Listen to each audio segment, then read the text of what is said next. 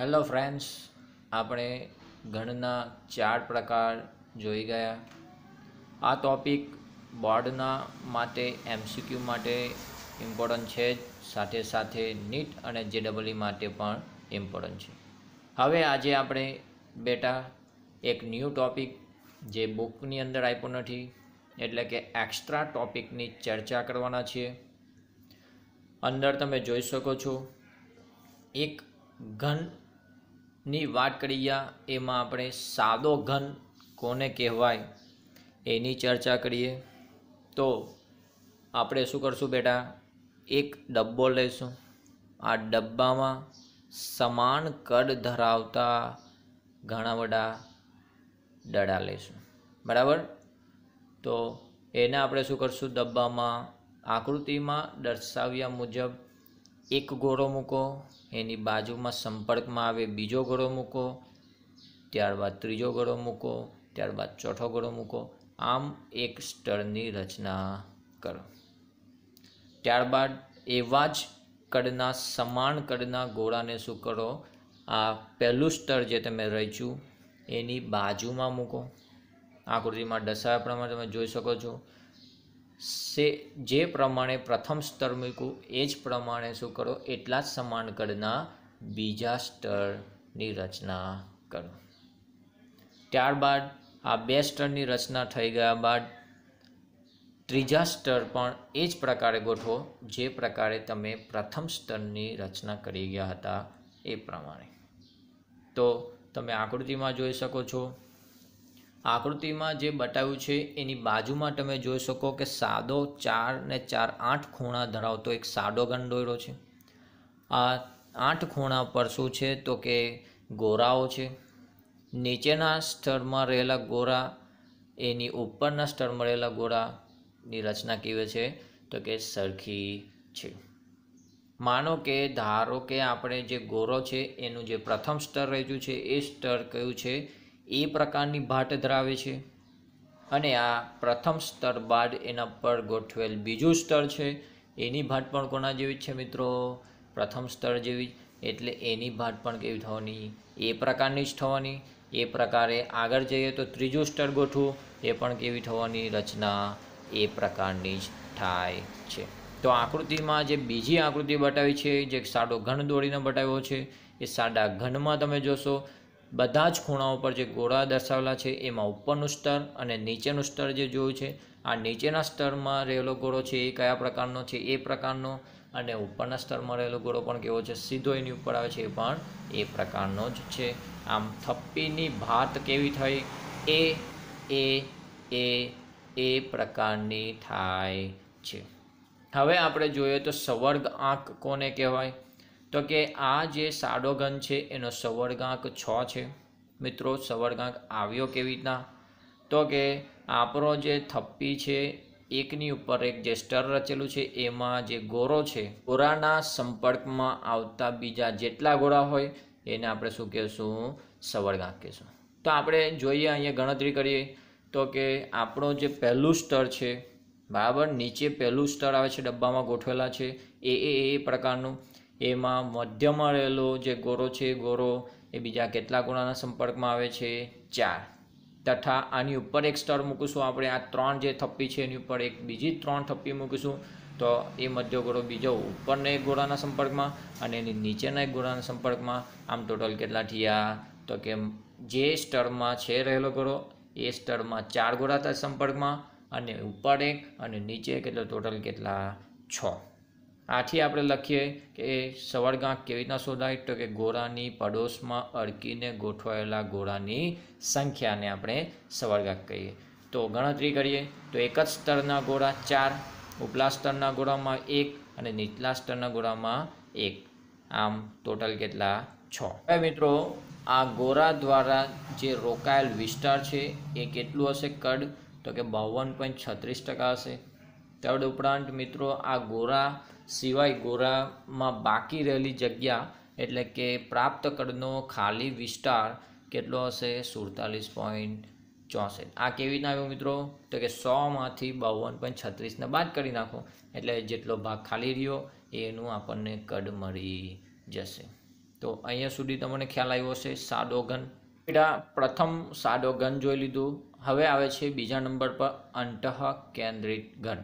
જેને તમે બીસીસી તરીકે પણ ઓળખી શકાય, જેનો અર્થ થાય છે બોડી સેન્ટર ક્યુબ આપણે જોઈએ તો આ દરમિયાન તમે આકૃતિમાં જુઓ તો કે આપણે પ્રથમ જે ઘનની રચના કરી હતી એ મુજબ સમાન કદ ધરાવતા એક ગોળો લો એની બાજુમાં બીજો ગોળો ગોઠવો, એની નીચે, પ્રથમ ગોળાની નીચે થોડી જગ્યા રહે એ પ્રમાણે ત્રીજો ગોળો ગોઠવો અને દ્વિતીય ગોળાની નીચે થોડી જગ્યા રહે, સંપર્કમાં ન આવે એ પ્રમાણે ચોથો ગોળો ગોઠવો. આ ચાર ગોળા જ ગોઠવ્યા, એમાં જે વચ્ચે ખાલી જગ્યા પડે છે, ત્યાં શું કરો મિત્રો? તો કે પાંચમો ગોળો એવી રીતે મૂકો, જે આ ચારે ચાર ગોળાના સંપર્કમાં આવે. બરાબર છે? તો આ એક સ્થળની રચના થઈ. હવે શું કરો મિત્રો? આ પ્રથમ સ્તરની ઉપર પ્રથમ ચાર ગોરા જે હતા, જે મૂક્યા એવા બીજા ચાર ગોરા આ ગોરાની ઉપર મૂકો.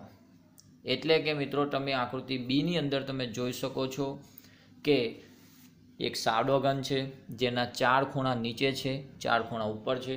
ચાર ખૂણામાં નીચે શું કરો તો કે ચાર ગોરા આપણે એકબીજાના સંપર્કમાં ન આવે એ પ્રમાણે મૂકવાનું છે. આ ગોરાને કયા થપ્પી તરીકે ઓળખીશું? એ ત્યારબાદ વચ્ચે ખાલી જગ્યા પડી તેમાં કયો ગોળો મૂક્યો? એક ગોળો. એ થપ્પીને શું કહેશું આપણે? બી. અને ત્યારબાદ ફરીથી પ્રથમ ગોળા જે ચાર મૂક્યા, પહેલું સ્તર, એના જેવું જ ત્રીજું સ્તર જે રચવાના એ કેવું હશે પ્રથમ સ્તર જેવું પુનરાવર્તન પામતું હશે. એટલે આપણે એને ફરીથી આપશું શું? એ પ્રકારનું. તો આપણી ભાતની થપ્પીની ભાત કઈ થઈ? એ બી. એ બી. એ બી બરાબર છે મિત્રો? આથી એનો સવર્ગાંક તો કે આઠ આવે છે. કેવી રીતના આવે છે મિત્રો? મધ્ય બીજા સ્તરનો જે ગોળો છે, એ કેટલા ગોળા સાથે સંપર્કમાં આવે છે? તો કે નીચેનું પ્રથમ સ્તર, જેના ચાર ગોળા, અને ઉપરનું ત્રીજું સ્તર, જેના ચાર ગોળા. એટલે ટોટલ કેટલા થયા? આઠ ગોળા. તો લખી દઈએ, એક જ સ્તરના ગોળા એટલે કે મધ્ય સ્તરમાં બીજા સ્તર છે એનો ગોળો, એક જ ગોળો તો એ ગોળાના સંપર્કમાં, તો કે એક સ્તરના ગોળા ઝીરો. ઉપલા સ્તરના ગોળા કેટલા? તો કે ચાર. અને નીચલા સ્તરના ગોળા કેટલા? ચાર. આમ પ્રાપ્ય કદનો રોકેલો વિસ્તાર કેટલો થવાનો મિત્રો? અડસઠ ટકા. માટે પ્રાપ્ય કદનો ખાલી વિસ્તાર કેટલો? તો કે સોમાંથી અડસઠ બાદ કરો કેટલું રહેશે? બત્રીસ ટકા પ્રાપ્ત થશે. તો આપણે ફરીથી એકવાર જોઈએ સાદો ઘન. એમાં શું કરશું? એ એ એ પ્રકારની રચના. એમસીક્યુ શું પૂછાય? એ એ પ્રકાર. સવર્ગાંક કેટલો? તો કે છ. અને પ્રાપ્ય રોકેલ વિસ્તાર બાવન પણ છત્રીસ. એ જ પ્રમાણે અંતઃ કેન્દ્રિત ગણ બીસીસીમાં ભાટની રચના કેવી? એબી એબી એબી પ્રકારની રચના. સવારગાંક કેટલો? તો કે આઠ. અને પ્રાપ્ય રોકેલ વિસ્તાર અડસઠ ટકા અને ખાલી વિસ્તાર કેટલો? બત્રીસ ટકા. તો અહીંયાથી તમને એમસીક્યુ પૂછાઈ શકે. તમને કોઈ પણ પ્રોબ્લેમ હોય તો તરત કોન્ટેક કરવો. ક્લિયર બેટા? પ્રથમ બે ઘન પદાર્થની રચના અને તેની માહિતી. હવે આવે છે ત્રીજું ફલક કેન્દ્રિત ઘન, એટલે કે એફસીસી જેનો અર્થ થાય છે ફેસ સેન્ટર ક્યુબિક હવે આપણે જોઈએ તો આકૃતિમાં દર્શાવ્યા મુજબ, પ્રથમ શું કરો તમે? તો કે પ્રથમ ત્રણ ગોળાઓ જેના કદ કેવા છે સમાન હશે. આ સમાન કદના ત્રણ ગોળાઓ પૈકી એકબીજાને સંપર્કમાં રહે એ મુજબ તમે આકૃતિમાં જોઈ શકો એ રીતના ગોઠવણી કરો. આમાં એક ગોરો તમને દેખાય એ પ્રમાણે સામે મૂકવાનો છે. ત્યારબાદ તમે શું કરશો મિત્રો? તો કે સમાન કદના આ જે ત્રણ ગોળા થયા એ પહેલું સ્તર થયું. હવે ત્યારબાદ તમે બીજું સ્તર એવી રીતના મૂકો, જેમાં છ ગોળાઓ છે. અને એ છ ગોળા એકબીજાના સંપર્કમાં આવે અને એ મધ્યમાં જે ખાલી જગ્યા પડે, એની અંદર એક બીજો ગોળો મૂકો. જે તમે આકૃતિમાં જોઈ શકો છો. હવે શું કરો તો કે આ બીજા સ્તરને પ્રથમ સ્તર ઉપર ગોઠવો. ત્યારબાદ તમે ફરીથી ત્રણ ગોળા લો સમાન કદના અને આ ત્રણ ગોળાને એવી રીતે ગોઠવો જે પ્રથમ સ્તર છે એના કરતાં જુદી રીતના ગોઠવાય. એટલે કે પ્રથમ સ્તરમાં એક ઘોડો તમારી સામે આવતો હતો, પરંતુ તમે જોઈ શકો ત્રીજું સ્તરની અંદર કેવી રીતના મૂકશો તો કે બે ગોળા તમારી સામે આવે. તો તમે આકૃતિમાં જોઈ શકો છો કે પ્રથમ સ્તર એ એ પ્રકારની ભાટ રચના ધરાવે, બીજું સ્તર છે એ બી પ્રકારની છે અને ત્રીજું જે છે એ એ પ્રકારનું પુનરાવર્તન કરતું નથી. એ કેવું છે? અલગ છે. કારણ શું છે? તો કે એ સ્તરમાં એક જ ગોળો તમારી સામે આવે છે, જ્યારે બી સ્તરમાં બે ગોળા તમારી સામે આવે છે. એટલે કે કેવું થાય છે, એ ભાટ સી પ્રકારની થાય છે. આમ, પ્રાપ્ત થયેલી ભાટ કેવી હશે?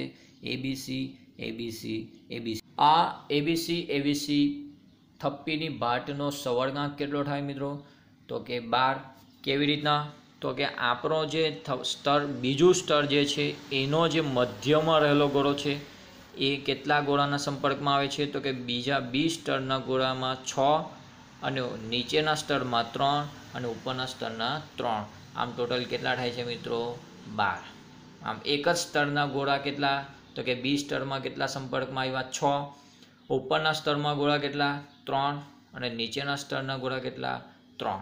આમ પ્રાપ્ત કડનો રોકેલ વિસ્તાર એટલે કે આ ફલક કેન્દ્રીય ગણમાં ગોળાએ કેટલો વિસ્તાર રોકેલો છે? ચુમ્મોતેર ટકા.